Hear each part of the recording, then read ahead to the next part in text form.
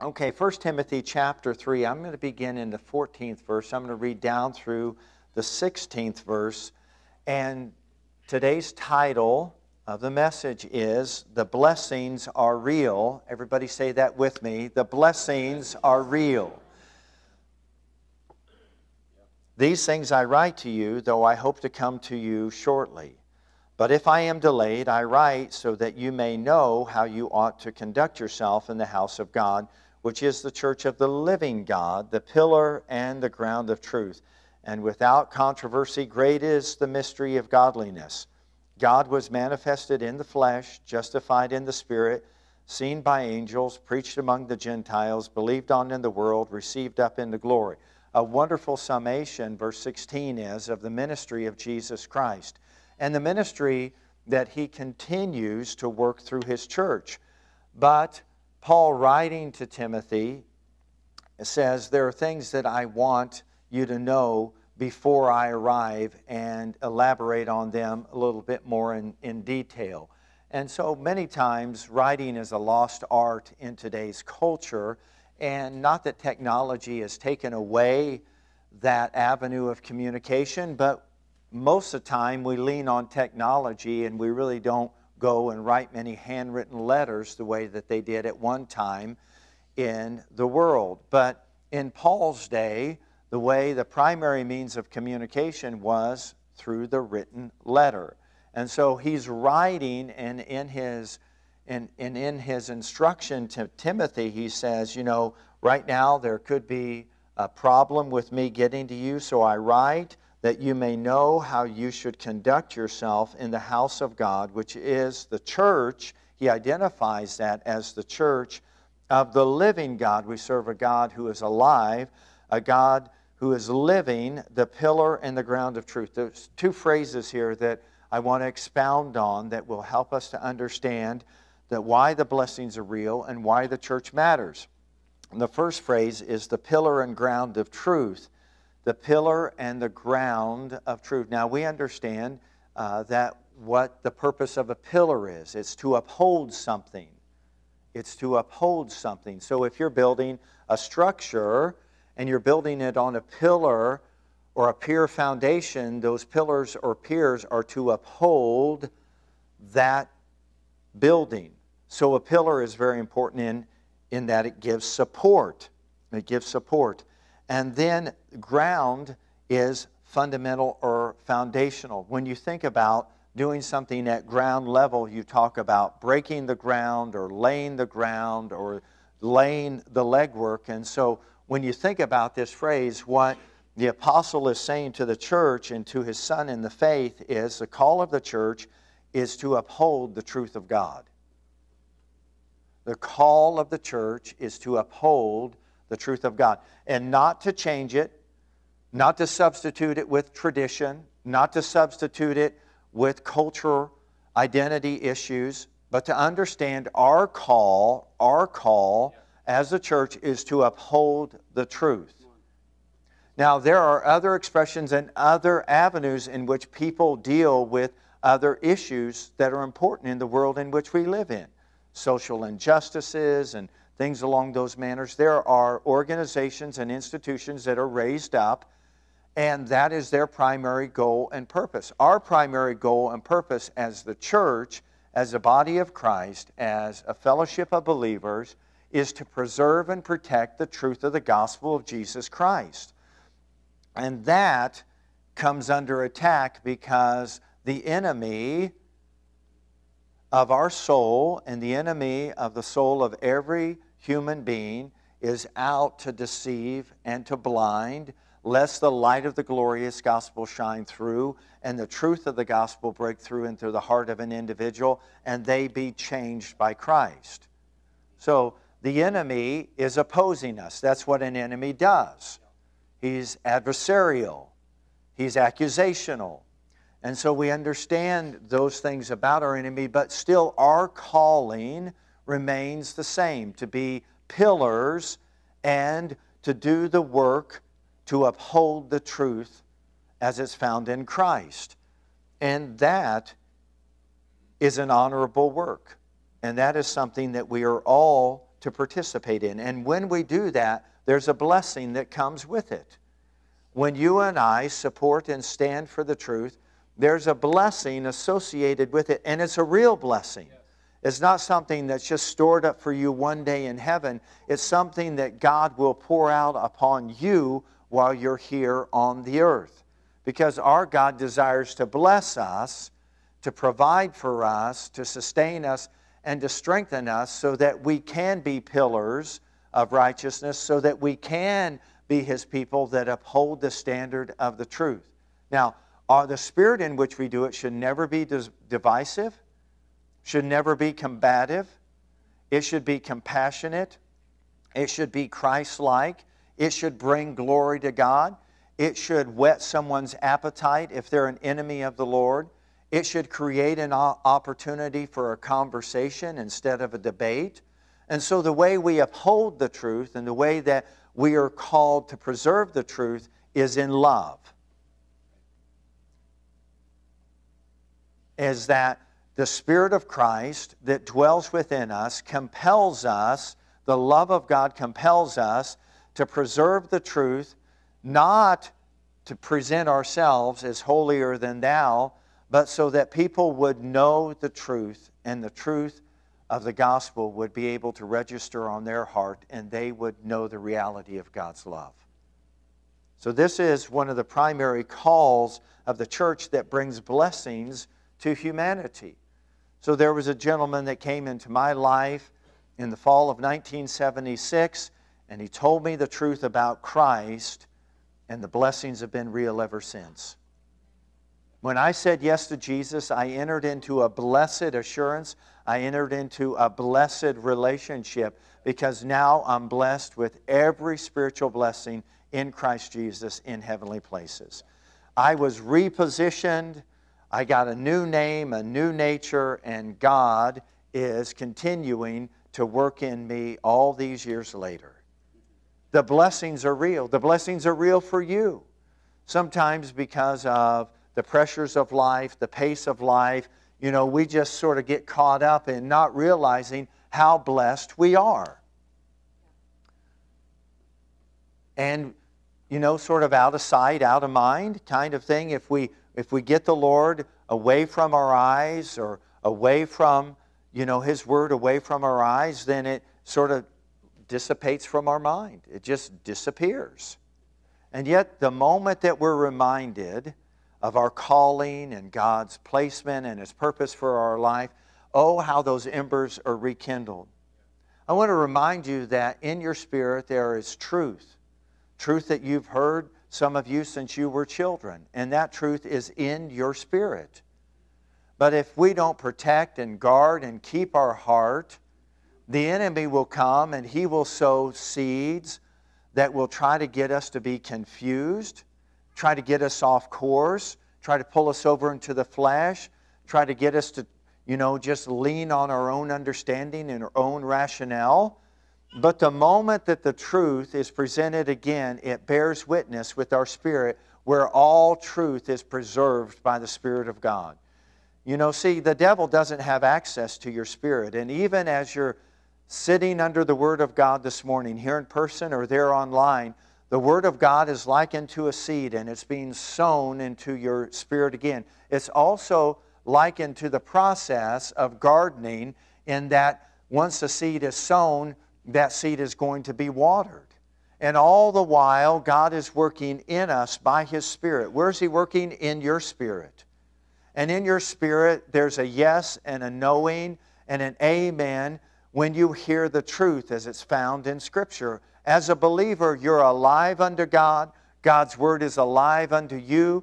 And when that living Word is in your heart, it begins to bring blessings in the remembrance of blessings to us. How blessed we are. You know, when we get angry, you know your mind doesn't work. And the Holy Spirit said, the Holy Spirit, Jesus said this about the Holy Spirit He'll bring the Word to your remembrance. But you know, if the enemy can get you and I worked up and angry and fighting and fussing and divisive, then our mind is not operative at that time. We're completely given over to the impulses of the flesh. We want an eye for an eye and a tooth for a tooth. We want to justify our wrongs. We want someone to pay a price. We want to pound the flesh for everything that anyone ever did to us that caused us harm. And at that mind, your, your intellect is completely checked out. And you're just acting like a brute beast. I'm acting like a brute beast. It's the lowest level of behavior for a human being who's created in the image of God to go around and behave that way. But when we hear the truth again in our heart or in our spirit, we're reminded of who we are. And when we're reminded of who we are, it bears witness with us that we are the people of God. We once, who were not a people, as Peter said, are now the people of God, and we're to show forth his praises. Amen. That is a wonderful description of how our day in and day out life should be. We, at one time, were not a people. BC, before Christ. We are now a people because we came to Christ, and the good work that God started, He's going to begin as we sing forth His praises. I love the testimony of Ava because she did what the Lord asked her to do, and the Lord did exceedingly abundantly above all she could ever imagine. She thought it was going to be an ordinary week of camp. It ended up being extraordinary, but it wouldn't have been if she would have just sat there or stood there and not entered in. But the Lord said, if you would give yourself to worship, the blessings will be real. And they were, and they'll continue to be real. Prior to service, we sat in our office, and I said, You know, one of the, the most challenging things to do now is to protect that which God has deposited within you. But you know, she has a wonderful support system. She has a wonderful family, good siblings, a great mom and dad. She's got wonderful friends. But to say that the enemy isn't going to come and try to distract her or cause her to go on a detour, we wouldn't be telling her the truth. But what we can say to her and to everybody else yeah. is your story is real and don't let anyone yeah. take it from you. Yeah. And the more that you praise and the more you worship the Lord, the solid foundation that you have just goes, and the root system of that foundation just goes deeper and deeper and deeper. So the second phrase is the house of God. Everybody say the house of God. This is a phrase that uses to describe a, a community of believers.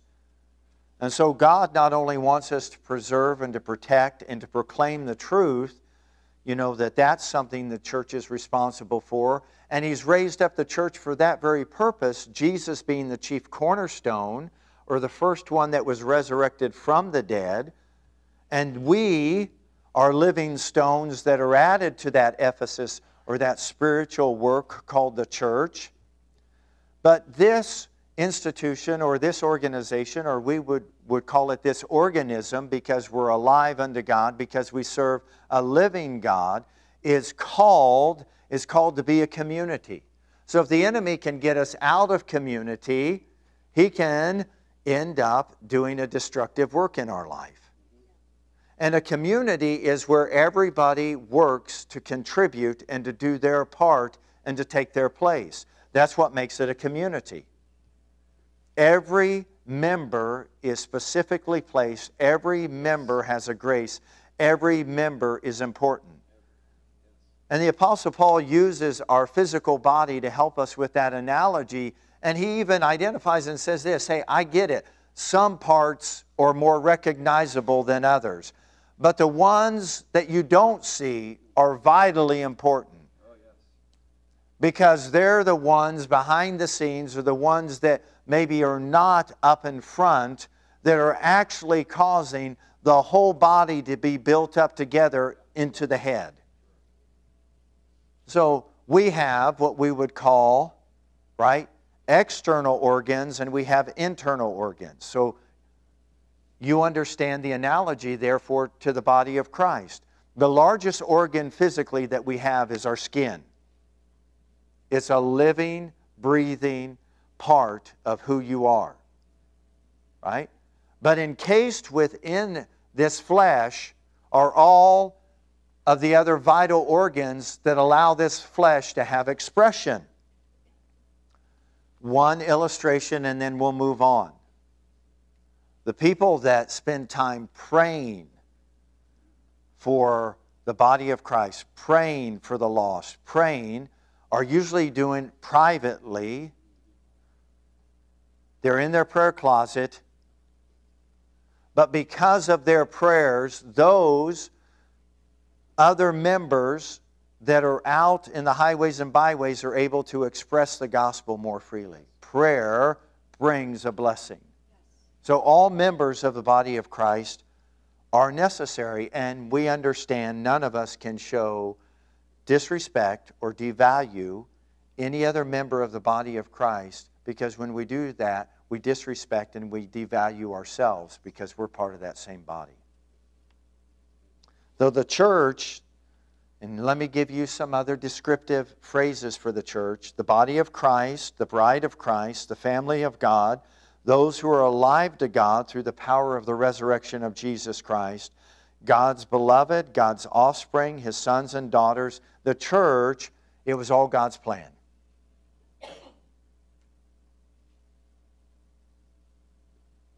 Community has always been the plan of God. We see a portion of that revealed in the Old Testament, but now within the New Testament, we see something new and better, which I'm going to elaborate on here in a moment. But Hebrews 11:40 is a wonderful portion of scripture. The first portion of the scripture says, God having provided something better for us. It's the last verse, Hebrews chapter 11 and verse 40. It's the last verse of Hebrews chapter 11. And how many of you know what Hebrews chapter 11 is? Hebrews chapter 11 is the great chapter of faith. And it talks about all those who served the Lord by faith. And it said, but some of them did not obtain the promises. And then it gives us this phrase God having provided something better for us. You can take that down off the screen, Christian. God having provided something better for us. Let's talk about that something better because that's where the blessings are. The blessings include the salvation of God that God has provided by faith. The something better includes God's people being positioned with God as sons and daughters, and God's doing something in us something better is still to come. So I want to give you sort of an analogy or sort of a breakdown or an overview of the book of Hebrews. And I don't mean this to be academic. I think that it's, uh, it's important that we understand that every book of the Bible has a specific placement by the Spirit of God and a message that humanity needs to understand and embrace in order to be fully developed and to be fully fed and nurtured in the things of God. In the book of Hebrews, if you read it, it can get a little wordy, it can get a little heady. I mean, it, it deals with the high priesthood, it deals with a lot of sacrificial language that took place in the Old Testament. And let me just sort of maybe give you a little caveat there as far as offerings and sacrifices and things that took place under the Old Testament. If you read the book of Leviticus, and if you know, you ever just want to get a little bit of, uh, uh, you know, you're having a hard time sleeping and you just want something to help you to get over the hump, you know, you can read the book of Leviticus, which was the responsibility of the Levitical priesthood, which was a, a specific tribe that God had raised up among his people. They were the Levites. And uh, this was their duty and their responsibility. Read the Levitical responsibilities we could say it's their job description. And if you read the Levitical account that's given in the Old Testament, you'd be like, man, that's demanding. And I would even put it in this category that's like an impossible task. Humanly speaking, it's impossible. And that was the whole purpose of God giving them all of the responsibility and all of the different ways in which they were to bring offerings and sacrifices was that the message from God to mankind is you can't do, and this kind of worship or lifestyle is unsustainable. You're going to fail, you're going to burn out, you're going to get over into pride, into self righteousness, but it's impossible. So Jesus came, and Jesus became our high priest unto God.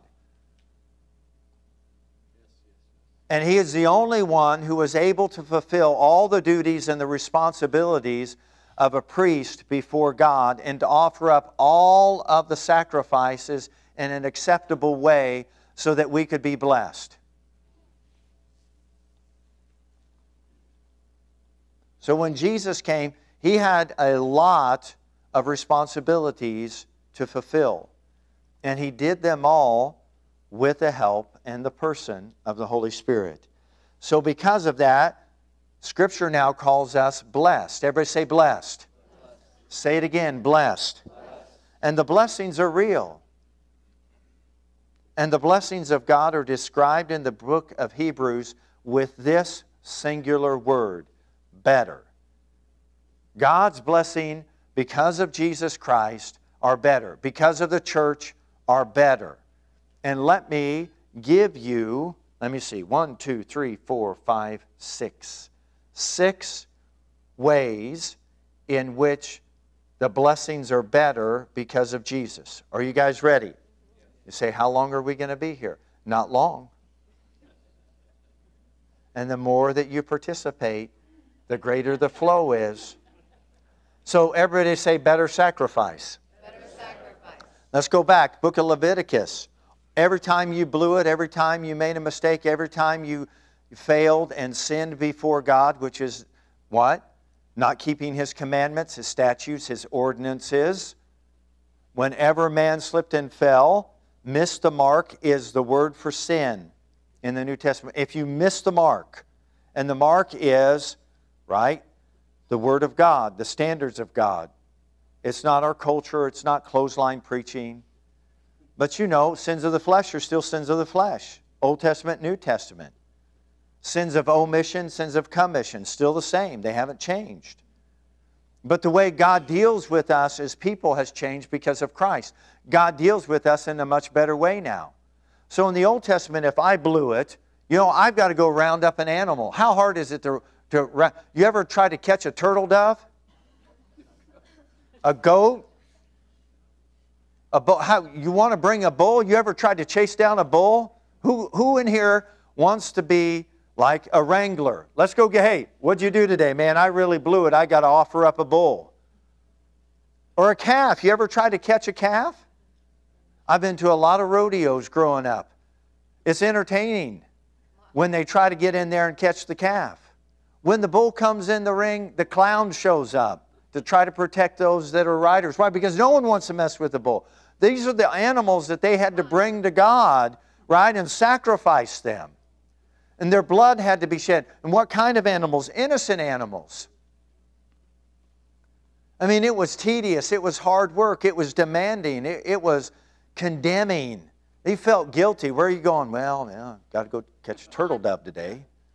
Why is that? Well, I told my mom she's number one, but I gave her the wrong finger to tell her that. Well, uh, yeah, that's, uh, that's not honoring your father and mother. That's, uh, that's one of the big ten.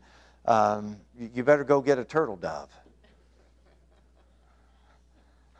Well, that's bigger. You might, you might have to go wrestle a calf. Oh, you want to come with me? No, no, I, I, didn't, I didn't give that expression to my parents today. Okay, okay, okay. So you understand that, I mean, it, it was like demanding, tough, and you felt shame and guilt all the time. You just live with this awareness of shame and guilt. You know, there's some people that they come to Christ. Cute little caveat here, and I promise this is probably the most elaborate of the six because everything else unfolds after this. There's a better sacrifice. There's a better sacrifice. But um, when I came to Christ as 13 years of age, and then I started growing in faith, honestly, when I first came to Christ, if I didn't feel bad, I don't know that I felt good about myself. I, I always felt like I was just, just one notch below everybody else. You know, I was uh, a french fry short of a happy meal. My elevator didn't go to the top. I mean, you know, all of the adages and, and some that, you know, probably aren't appropriate for the platform uh, is how I felt. You know, if I, and I, I lived with an awareness of my shortcomings, my inadequacies, my failures, and my number one conversation with God for the se- first several years that I was saved was God, forgive me. I felt like I was failing Him constantly until I learned this truth that I'm about to share with you. And that is that Jesus is a perfect sacrifice. Those animals, those innocent animals, they just covered the sins. Because of Jesus' better sacrifice, my sins are completely removed. I would talk to the Lord about the same thing 10 times. And I finally understood He heard me the first time. But how patient He was with me through those years because I lived with low self esteem. I, I lived with a guilty conscience. I felt guilty all the time until I understand, right, that the blessings are real. And when I found out what Jesus did for me, that He was the Lamb of God, right? An animal, a typology of an animal that would be sacrificed. He was the Lamb of God who was shed His blood, not continually, once and for all. That His blood was spotless blood. So we have a better sacrifice. That means better blessings. So, what happens to guilt and shame and condemnation? It's all washed away my conscience is now cleansed because of Christ. So, because of a better sacrifice, everybody say better sacrifice. Better sacrifice. Here comes number two better covenant. Amen. The old covenant was the, the pillars of the old covenant were the law. The pillars of the new covenant are grace. The law pronounced us guilty. Grace pronounced us as forgiven. New covenant, better covenant. Ever say better covenant? better covenant? Number three, better promises. Our promises are now yes and in Him, amen. Better promises. Jesus keeps the promises, and they're provided for us. Everybody say better promises. Better promises. All right. Number four, better mediator.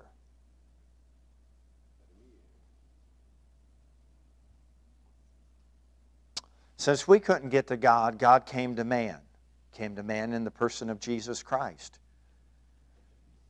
And Jesus emptied himself so that he could come and identify with us, but still he maintained his proper identity as the Son of God.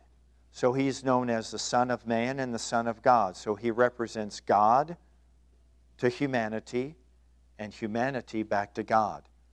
And you know what we call that? If you were negotiating, what we call that is a mediator. He's the only one who can stand in the middle and represent both God and represent man accurately, personally, and he did that. There's one mediator between God and man, the man Christ Jesus. And because of that, that's why Jesus' statement of, I'm the way, the truth, and the life, is a truth that the church is called to uphold and preserve. And that makes the blessings real. So we have a mediator. We have a better resurrection. You know, in the Old Testament, people were raised from the dead, but you know, then eventually they died. You know, everyone that Jesus physically raised from the dead in his ministry eventually died. But in the new covenant, Jesus is described this way He is the firstborn, firstborn, that's resurrection, among many sons and daughters, that he may have preeminence. He was the first, and then after him, there'll be multitudes and multitudes and multitudes that will experience resurrection because Jesus said, I am the resurrection and the life. He who believes in me, though he will die, he will, he will never die, but live forever. So we have a better resurrection. This physical body is going to pass away, but you're alive unto God. We serve a living God. To be absent from the body is to be in his presence. You just slip out of this, what we would call natural body, and you slip over into your eternal home. You have a better resurrection. And all of this makes the blessings of God real. We think and meditate and ponder these truths through the course of your week, then your spirit is built up. Your spirit is protected from deception. Your spirit is preserved because we live in a perverted world. We live in a very deceptive day and hour. But because of Jesus, we can know the truth and we can tell the truth to others. And that's the responsibility of the church that no, there's a better sacrifice. People don't have to, to try to continue to work their way to get right with God. What an endless road that is. An impossibility. Just come and receive the sacrifice that Jesus gave. We had a better covenant. A covenant is something that's sacred, it's binding. It was purchased with the blood of Jesus Christ. We have better promises. God always says yes to his kids. The timing aspect of it we get hung up on, but everything that Jesus suffered and died for is yours right now. It's on your account. It's better promises. It's a better mediator. It's a better resurrection. And then finally, it's this we have a better home than what we have right now. Don't put all your stock in the here and now, but store up treasure in heaven. For where your treasure is, there your heart will be also. Be good stewards of the homes that you have, the time that God has given you while you're here, the talents, the gifts, and the abilities that He's given unto you while you're here. But one of these days, all of those things will be something of the past, and we enter into eternity, and we have eternal home with God in heaven. And that's where we're going to be forever and ever and ever. And of his kingdom and of his glory and of his power, there will be no end. And we'll never grow weary, we'll never grow tired. We won't have any weaknesses in our flesh to weigh us down. We won't have a mind that is always trying to understand and analyze and figure everything out. And we'll be in His presence and we'll see Him as He is and we'll know Him and we'll be known. And it, that's a really large concept for us to try to grasp, but that's what's in store for those who love God. That is what God has preserved for those who love Him. A real place Scripture actually describes heaven like you would describe a country or a planet. There's going to be activity there, structure there, there's going to be governments there, there's going to be protocol there, and all of it will be something that is governed by the person in the presence of Jesus. You will know exactly what to do, when to do it, and how to do it. And it's not as if you'll be robotic. It will be like heaven is so, there's no darkness there, there's no night, it's always light. It's like a Alaska in the summertime for a few weeks. I mean, the sun just doesn't go down. And we just can't even begin to comprehend that.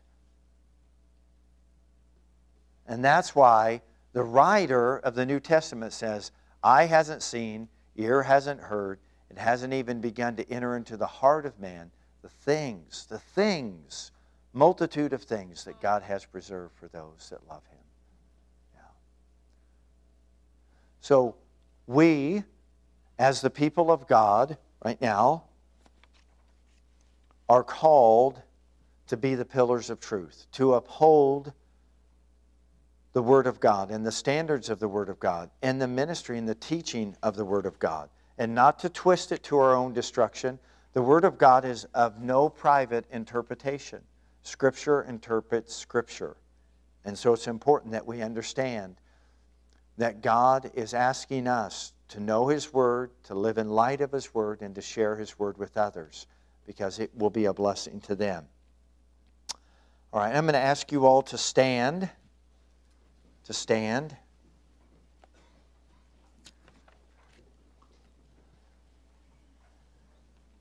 And with every head bowed and every eye closed, my invitation, first of all, is to all the believers. I think that this message, first and foremost, needs to be something that we process. And so I'm just going to give this simple invitation, and that is that if you feel like the blessings of the Lord have been so distant, so far away, doesn't mean that they're not real. Maybe just means you and I need to realign ourselves with the blessing of God. Maybe we've moved away from the foundation of truth and we've begun to entertain some thoughts or ways or philosophies that really aren't in keeping with Christ, Christ's commands, Christ's call, Christ's commission. Maybe we've you know, just picked up a lot of secondary messages instead of primary messages. Maybe we haven't been majoring on the majors, is another way to say that. Maybe we've just gotten caught up in a lot of emotionalism, maybe, we, you know, and it's just led us away from our first love. It's led us away from the foundation of our faith, which is Christ. He's our chief cornerstone. Maybe we started building our life around other agendas or other messages. And Christ is just calling us to himself because he's a jealous Savior. He loves us, he's zealous for that relationship with you. And of course, he would be because he demonstrated that by giving his life for you. So you have tremendous value to Jesus. And that's why he pleads with us to come. That's why he wins us over and he sort of, in a sense, woos us back to himself. But if you've found yourself drifting apart from Christ and the blessings seem to be drifting also, I want to encourage you get yourself anchored once again in Christ, in His Word, in His call his true call, his true placement for you. If that's you, I just want you to raise your hand while heads are bowed and eyes are closed. Thank you. Thank you. I see those hands.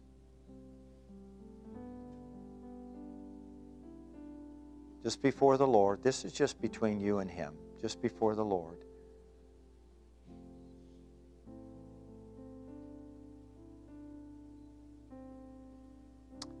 Now, Father, I thank you for those that raised their hand, that the Holy Spirit now is guiding them back to Christ, to have a Christ centered life, a Christ focused life, because, Lord, that's a blessed life.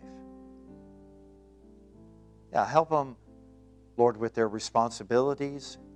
Help them to know that you're with them in the everyday, ordinary activities of life parenting, grocery shopping, laundry, housekeeping mowing the lawn, going to work. Lord, you're always with us. Forgive us for trying to say, well, you're with us here, not with. No, the blessings are real everywhere. We're blessed coming in and going out, lying down and rising up. We're blessed. Whatever we put our hand to is blessed. For some of you, those embers are being stirred again. That's a truth you've heard since you were a child the blessing of Abraham are mine. I am the seed of Abraham, and you are. You're his offspring. You're blessed. Don't live under a curse. Live the blessed life. Be the people that God has called you to be, the people that show forth his praises. Lord, I thank you that you seal these decisions. Make it personal, make it real. And I thank you, you protect them from the evil one. In Jesus' name, amen. Amen. For those online, I trust that you've been following these same instructions, making the same decisions. If where you are, you need to reconnect with Christ, He's with you. It's one of the great truths about our Lord is he is ever present. When does his presence manifest? When do his blessings manifest? When we acknowledge his presence. And when is that? When we have holy goose pimples? no. When you wake up in the morning, he's with you. Whether you can feel it or figure it out, he's there. And if you say, Lord, I thank you that you're here with me, I thank you that you gave, listen to this, a better sacrifice for a better covenant, for better promises. That you are my way back to the Father. You're my mediator. That one of these days I'm going to experience resurrection and I'll be in your presence. You think that pulls you back to true north spiritually? Shuts the door to the enemy? and his lies and deception, protects and keeps you from wandering and sort of drifting away? I think it does. Primary things are primary things. Keep Christ primary in your life. But if you haven't come to faith in Christ, Christ has sacrificed his life for you. All he asks is that you come and accept him. And when you accept him, you accept his way of living. But He helps you to do that through the person of the Holy Spirit. And if you haven't come to faith in Christ or acknowledged your need for Christ, then Christ calls us to Himself through a word called repentance. that's just not saying, you know, I'm wrong and God, you're right. What repentance means is, God, I'm changing my mind about the way I think about you and the way I think about life. That's why Christ calls us to Himself.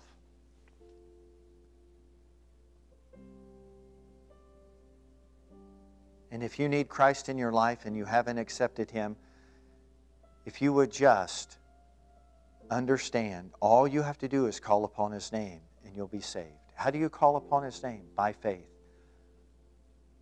It's just something that you confess. Christ, I confess by faith. I need you as my Savior. I need you as my Lord. Online, you can do that right now. Just begin to acknowledge Christ. Come. Thank you for your forgiveness. Thank you for the new life you can give me. Thank you for mercy. Thank you for grace. And He comes. He promises that He comes. And the blessings that follow are real, are real. And they're eternal, and they're for you.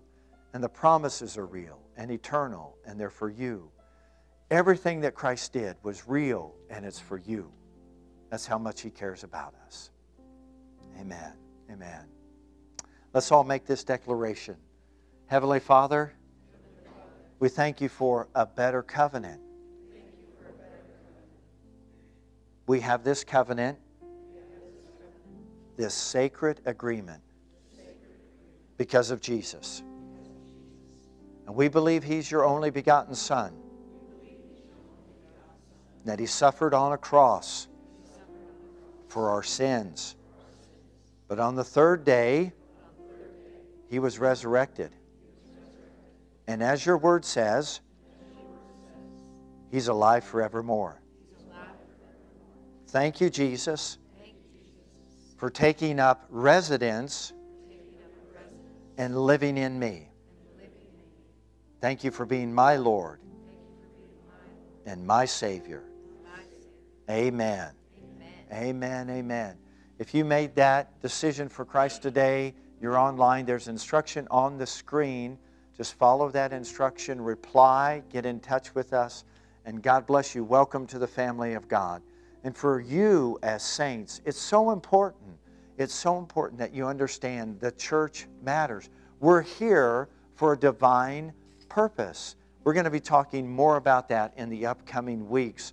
If you're not able to be with us in person, you know, stay connected and stay in touch with us through all of the different ways that we are broadcasting these messages, whether it's through YouTube, whether it's through our website, you know, whether it's through our podcast, and let's continue to stay built up in the days in which we live.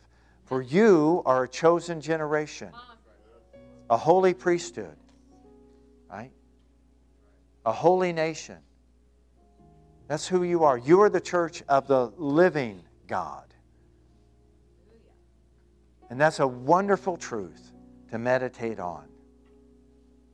That I am my beloved's and my beloved is mine. You're one with the Lord. Just like a husband and wife are one with the Lord, you are one with Christ. This is part of the great plan of God. That's what makes everything so much better with Jesus.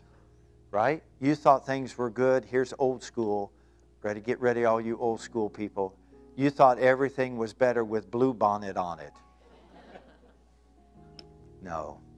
Everything's better because of Jesus. Thank you for watching today's message. If you'd like to know more about today's message or the ministry here at Living Word Fellowship in Knoxville, Iowa, please call 641 828 7119 or visit us online at lwfknoxville.com. If you are in the Knoxville, Iowa area, please stop by and see us on Sundays at 10 a.m. or Wednesdays at 7 p.m. at 321 East Robinson, where there's always something for everyone.